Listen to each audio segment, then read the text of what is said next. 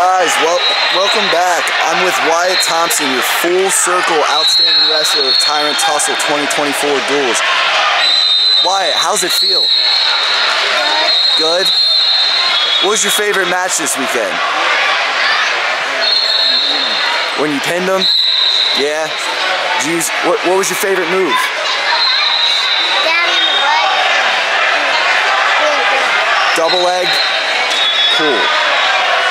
What um what was your favorite moment from this weekend? Taking second place. Hard earned battle for second place. I'm sure you had fun doing it too. Wyatt, thank you so much for this interview. Guys, this is your full circle outstanding wrestler of the 2024 Tyrant Tussle Duels. Thanks, Wyatt.